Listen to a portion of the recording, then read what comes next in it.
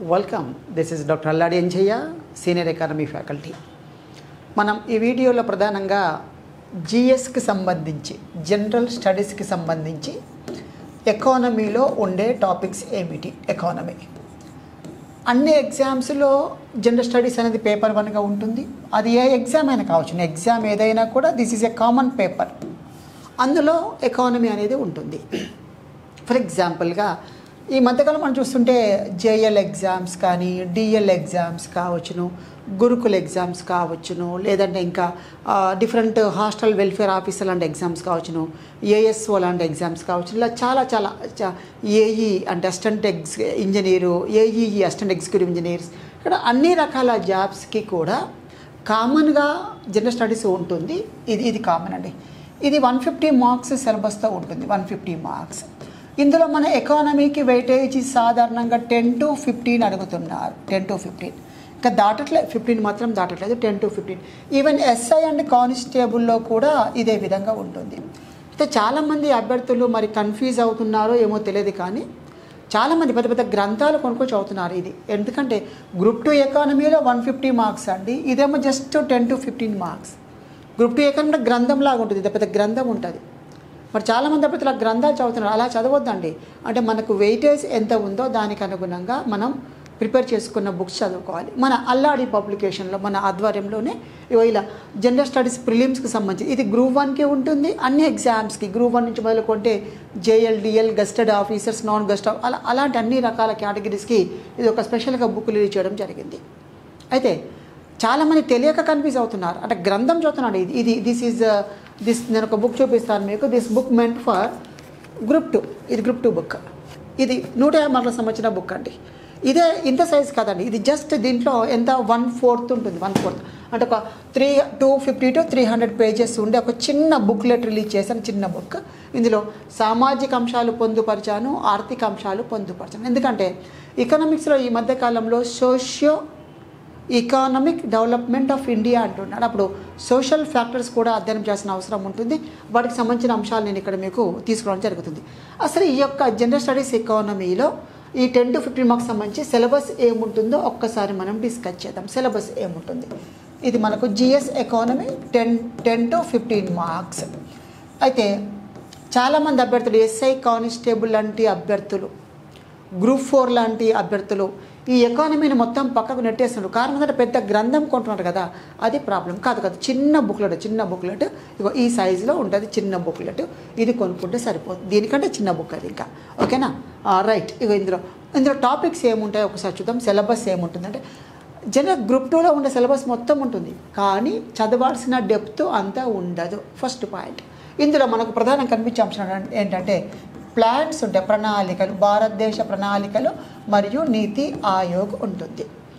ఇక్కడ ప్లాన్స్లో one to twelve five ప్లాన్స్ను డిస్కస్ చేసుకుంటూ వెళ్ళండి. అందులో వచ్చిన ప్రధానమైన పథకాలు డిస్కస్ చేసుకుంటూ వెళ్ళండి. సరిపోతుంది. అవి చదవండి. ఇక ఏమొద్దు ప్రణాళికలు ర- రకాలు.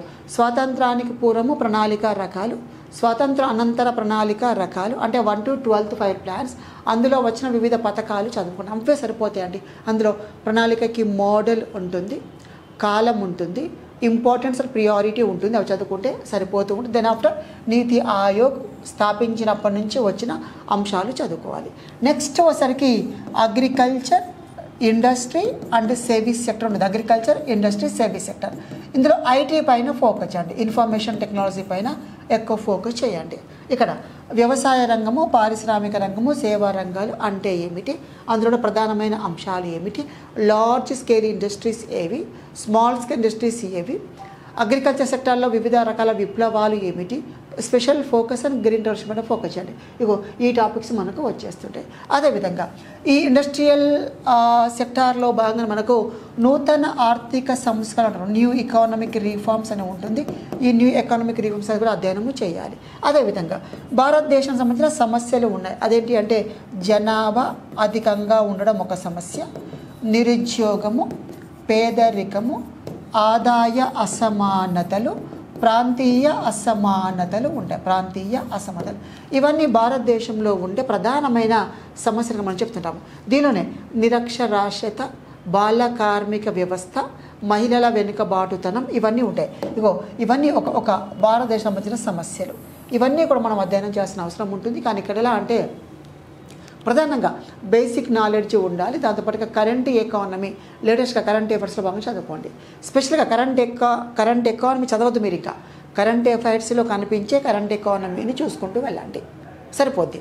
ఇందులో మనకు సిలబస్లో ఇవన్నీ రాసామండి పంచవర్ష ప్రణాళికలు నీతి ఆయోగ్ వ్యవసాయ పారిశ్రామిక రంగాలు నూతన ఆర్థిక సంస్కరణలు నిరుద్యోగము పేదరికము జాతీయ ఆదాయము మానవ అభివృద్ధి సూచిక ద్రవ్యము బ్యాంకులు మరియు ఆర్బీఐ సిస్టమ్ ద్రవ్య విధానము ద్రవ్యోల్బణం అనేది మొత్తం పొందుపరిచాము.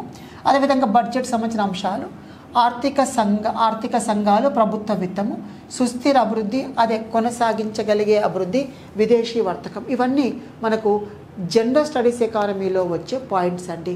కాబట్టి అభ్యర్థులు వీటిని బేసిక్స్ అనమాట ప్యూర్ బేసిక్ నాలెడ్జ్ పెంచుకోండి ఫస్ట్ వచ్చినాక కరెంట్ ఎకానమీ అనేది ఇందాక చెప్పాను కదా కరెంట్ అఫైర్స్లో అంతర్భాగంగా చదువుకుంటే సరిపోద్ది. దీనికోసం ఎక్కువ ఫోకస్ చేసిన అవసరం లేదండి. ఎందుకంటే చాలామంది అభ్యర్థులు మనకు తెలియక గ్రూప్ టూ లాగా దీన్ని ఫీల్ అవుతున్నారు. ఇది ఇది ఇది వన్ ఫిఫ్టీ కాదు ఓన్లీ ఫిఫ్టీన్ మార్క్స్ సిలబస్ కదా. కాబట్టి ఇవిలో చదువుకోండి. అదేవిధంగా సమ్మిళిత వృద్ధి ప్రాంతీయ అసమానతలు మరియు వలసలు పట్టణ ప్రదేశము మురికి వాడలు బాల కార్మిక వ్యవస్థ మహిళా సాధికారిత జనాభా అక్షరాస్యత సామాజిక భద్రతా చర్యలు అండ్ ఆరోగ్య రం రంగానికి సంబంధించిన కార్యక్రమాలు ఉన్నాయి. ఇగో ఈ అన్ని అంశాలతో కూడిన జనరల్ స్టడీస్ ఎకానమీని పొందుపరచడం జరిగింది. అభ్యర్థులు ఏమైనా కావాలనుకుంటే నేరుగా మన పబ్లికేషన్ కాంటాక్ట్ చేసి ఈ బుక్ తెప్పించుకోవచ్చు చాలా బుక్ స్టాల్స్లో అందుబాటులో లేదండి ఇది. పబ్లికేషన్ నుంచి మేము సప్లై చేస్తున్నాము.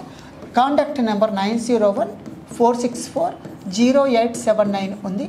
ఈ ఈ నెంబర్కి మీరు కాంటాక్ట్ చేసి నేరుగా మీరు బుక్ను పొందొచ్చును. బుక్స్లో ట్రై చేయండి. ఉంటే పర్లేదు. లేదంటే పబ్లికేషన్ మీరు పొందొచ్చిన ఇది కొరియర్ సర్వీసెస్ లాని పోస్ట్ సర్వీస్ ద్వారా మీకు లభిస్తుంది. జస్ట్ మీరు ఇది బుక్ చేసుకున్నాక ఒక త్రీ టు ఫైవ్ డేస్లో మీ చేతికి వస్తుంది. లేదు అంటే అల్లాడి పబ్లికేషన్స్ డాట్ కామ్ వెళ్ళండి. వెబ్సైట్కి వెళ్ళండి. అక్కడి నుంచి కూడా మీరు నేరుగా పర్చేజ్ చేసుకోవచ్చును కన్ఫ్యూజన్ వద్దు ఏమొద్దు జస్ట్ ఈ టాపిక్స్ ఈ చిన్న బుక్లెట్ తీసుకొని చదువుకోండి సరిపోతుంది. సరే ఇంకేమైనా మేము ప్రాక్టీస్ చేస్తాము అంటే అది మీ ఇష్టం ప్రాక్టీస్ చేస్తామని చేయండి.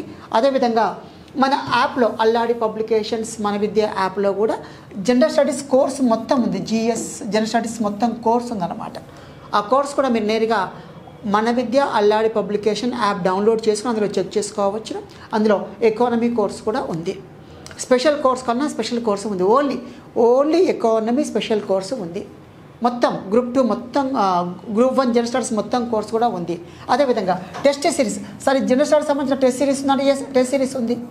టెస్ట్ సిరీస్ కూడా మీరు ఓన్గా చక్కగా యాప్లోనే ప్రాక్టీస్ చేసుకోవచ్చును. నాకు తెలిసి మీరు గ్రూప్ వన్ వాళ్ళు జ- జనరల్గా గ్రూప్ గ్రూప్స్ కాకుండా జేఎల్డిఎల్ ఇలాంటి అభ్యర్థులు ఎక్కువగా సబ్జెక్ట్ పైన ఫోకస్ చేస్తుంటారు. అలాంటి వాళ్ళు ప్రాక్టీస్ ఎక్కువ చేసుకుంటే సరిపోతుంది కానీ బేసిక్స్ నాలెడ్జ్ లేకుండా ప్రాక్టీస్ చేయొద్దు. కాబట్టి బేసిక్స్ నాలెడ్జ్ పెంచుకోండి మరియు ప్రాక్టీస్ చేయండి.